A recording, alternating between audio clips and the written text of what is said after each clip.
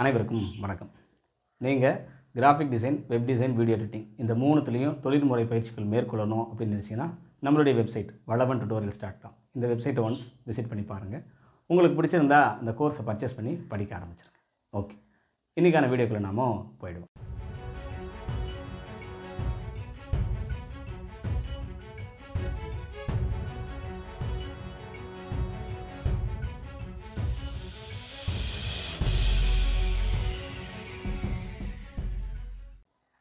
நண்பர்களே நிறைய இடங்களில் பெரிய சறுக்கல்கள் ஏற்படுத்துறது எது அப்படின்னீங்கன்னா பணம் தான் பணம் இல்லாமல் நிறைய தொழிலை துவங்கவே முடிகிறதில்ல சில பேருக்கு கடன் கிடைக்கும். அந்த கடனை அடைக்க முடியாமலேயே சில தொழில்கள் முடங்கி போகிறது உண்டு.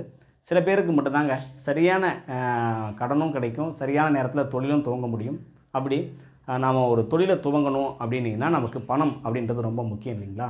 அப்போ இந்த பணத்தை நீங்கள் முதல்ல சேமித்து வைக்க பழகணும். அப்படி உங்களுடைய சேவிங்ஸில் இருந்து தான் உங்களுடைய தொழிலை நீங்கள் துவங்குறீங்க அப்படின்னா ரொம்ப ரிலாக்ஸாக உங்களுடைய தொழிலை நீங்கள் துவங்கி வெகு விரைவில் அந்த இதிலிருந்து நீங்கள் மேலெழுந்து பணக்காரர்களாகிறதுக்கான வழிமுறைகளை ஏற்படுத்திக்க முடியும். சரி ஓகே பணத்தை சேர்க்கணும் அப்படின்னு சொல்கிறோம் இல்லைங்களா? இது எப்படி நாம் சேமிக்க முடியும்? எப்போ மாதம் மாதம் நாங்கள் ஏதாவது ஒரு வகையில் சேமிச்சுக்கிட்டு தானே இருக்கிறோம் அப்படின்னா நம்மளுடைய வாழ்க்கை முறையில் பார்த்திங்க அப்படின்னா சம்பாதிக்கிறோம் செலவழிக்கிறோம் அதுக்கப்புறம் மிச்சம் மீதி இருக்கிற விஷயங்களை தான் நம்ம சேமிக்கிறதுக்கு பழகுறோம் இல்லைங்களா? இந்த பழக்க வழக்கத்தை மாற்றி முதல்ல நமக்கு என்ன சம்பாத்தியம் வருது அப்படின்றத ஒரு கால்குலேஷன் பண்ணி வச்சுப்போம். நமக்கு எப்படி மாதமானா சம்பளமாக வருதா? இல்லை நம்ம ஒரு தொழில் பண்ணுறோம் அந்த தொழிலிருந்து நமக்கு சம்பளம் இவ்வளோ ஒரு குறிப்பிட்ட தொலைவு அளவுக்கு நமக்கு வருமானம் வருதா? அப்படின்ற மாதிரியான விஷயங்களை முதல்ல நீங்கள் அலசி ஆராய்ஞ்சிக்கணும். எடுத்துக்காட்டுக்கு நீங்கள் மாதத்துக்கு ஒரு இருபதாயிரரூபா சம்பாதிக்கிறீங்க இல்லை ஒரு பத்தாயிரரூபா சம்பாதிக்கிறீங்க அப்படின்னா இந்த பத்தாயிரம் ரூபாய் உங்களுக்கு வரக்கூடிய வருமானமாக இருக்குது அது போக வேறு ஏதாவது நிலங்கள் இருக்கோ இல்லை வாடகை கொடுக்குறீங்க அப்படின்ற மாதிரி இதாக இருந்தாலும் நீங்கள் மென்ஷன் பண்ணி வச்சுக்கோங்க. தப்பு கிடையாது. பட் ஒரு நான் ஒரு சராசரி பத்தாயிரம் ரூபாய் சம்பாதிக்கிற ஒரு சராசரி மனுஷனாக பார்த்தீங்க அப்படின்னா ஒரு முப்பது வயதுக்குள்ளே இருக்கிறவராக இருந்தால் அவருடைய தேவைகள் ஒவ்வொருத்தருடைய வீட்டுக்குள்ள தேவைகள் நிறைய இருக்குங்க. வேறு வேறு கேட்டகரி. ஆனால் ஒரு பொதுவான விஷயம் உங்களால் பத்து சதவீதத்தை சேர்க்க முடியும். இல்லை ஒரு இருபது சதவீதம். ஓரளவுக்கு நல்ல ஆவரேஜாக நீங்கள் தொழிலை துவங்க போகிறீங்க ஃப்யூச்சரில் அப்படின்னா ஒரு ஐம்பது சதவீத அளவுக்கு நீங்கள் பணத்தை எடுத்து வச்சிடலாம். பத்தாயிரம் சம்பாதிக்கிறீங்க அப்படின்னா உங்களுடைய வாழ்க்கையில் ஐயாயிரத்தை எடுத்து வச்சுட்டு ஐயாயிரத்தை குடும்பம் நடத்து. இல்லை வீட்டுக்கு தர்றதா இருந்தால் ஒரு சின்ன பையனாக இருந்தால் இப்போ தான் வேலைக்கு போகிற ஆளாக இருந்து பத்தாயிரம் சம்பாதிக்கிறீங்க அப்படின்னா ஐயாயிரம் சம்பளத்தை நீங்கள் வீட்டில் கொடுத்துட்டு ஐயாயிரத்தை சேமிக்க பழகலாம். அப்படியே வந்து பிளான் பண்ணுங்கள் அதாவது இது எப்படி நீங்கள் கற்றுக்கணும் அப்படின்னா சம்பளம் வருது. அதிலிருந்து உங்களுடைய சேமிப்பை நீங்கள் கழிச்சிடுறீங்க. முதல்ல பாருங்கள் சம்பளம். சம்பளத்திலேருந்து சேமிப்பு. இந்த சம்பளத்திலேருந்து சேமிப்பை நீங்கள் அது எவ்வளவோ அது பத்து இருபது முப்பது சதவீதம் இந்த சதவீதங்கள் உங்களை பொறுத்து அந்த எவ்வளவு தூரத்தில் நீங்கள் அந்த தொழிலை துவங்க போகிறீங்க அஞ்சு வருஷம் கழித்து தொடங்குறீங்களா? அடுத்த வருஷத்துலேயே துவங்குறீங்களான்னு அதுக்கு தகுந்தபடி நீங்கள் அந்த பணத்தை சேமிக்க பார்க்கணும். அப்போது உங்களுடைய சம்பளம் சேமிப்பு. இந்த சம்பளத்துக்கு போக வாங்கின சம்பளத்தில் இந்த சேமிப்புக்கான தொகை என்ன இருக்கோ முதல்ல அதை எடுத்து வச்சிடணும் இப்போது பத்தாயிரரூபா சம்பாதிக்கிற ஆள் இருபது சதவீதம்னா ரெண்டாயிரத்தை முதல்ல எடுத்து வச்சிடணும் மீதி இருக்கிற எட்டாயிரத்தில் உங்களுடைய செலவுகளை நீங்கள் பிளான் பண்ணணும். இந்த ரெண்டாயிரத்தை எந்த காரணத்தை கொண்டு நீங்கள் எடுக்கவே கூடாது. ஏன்னா அது உங்களுடைய சேமிப்பு. ஓகேங்களா?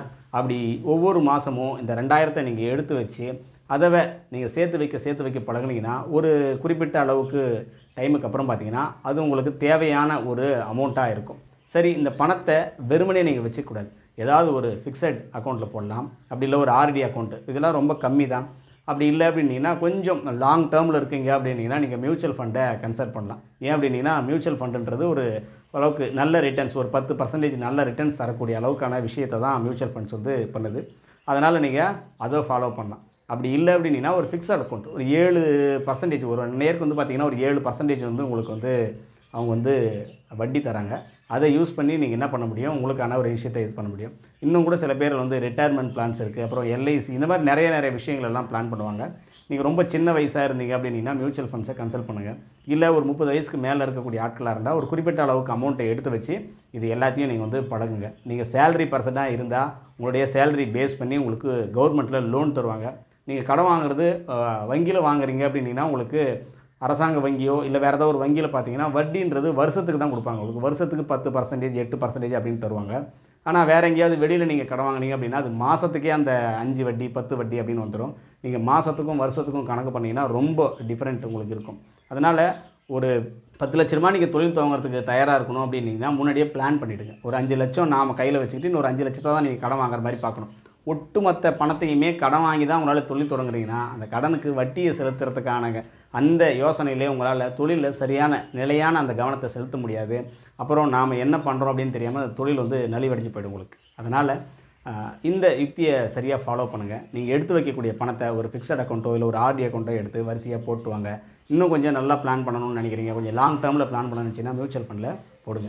பணத்தை நீங்கள் கரெக்டாக ஒரு பட்ஜெட் பிளான் பண்ணிக்கங்க. இந்த வயசில் ஒரு குறிப்பிட்ட அளவு வயசில் நீங்கள் பட்ஜெட்டை பிளான் பண்ணல அப்படின்னா வேறு எந்த வயசுலையுமே அதை வந்து நம்ம பிளான் பண்ண முடியாதுங்க. ஓகே முதல்ல உங்கள் வருமானத்தை கால்குலேட் பண்ணுங்கள் அதில் சேமிப்புக்கான தொகையை எடுத்து வச்சுட்டு மீதி இருக்கக்கூடிய பணத்தை செலவழிங்க இதே போல் தொடர்ச்சியாக செஞ்சுட்டு வாங்க. அடுத்த ஓர் அல்லது இரண்டு ஆண்டுகளில் உங்கள் கையில் சேர்த்து வச்சிருக்கிற பணம் உங்களுக்கு பேருதவியாக இருக்கும். அது உங்கள் வாழ்க்கையோ இல்லை உங்கள் தொழிலையோ முன்னேற்றி போகிறதுக்கு ரொம்ப பயனுள்ளதாக இருக்கும் அப்படின்னு நான் நம்புகிறேன் ஓகேங்க?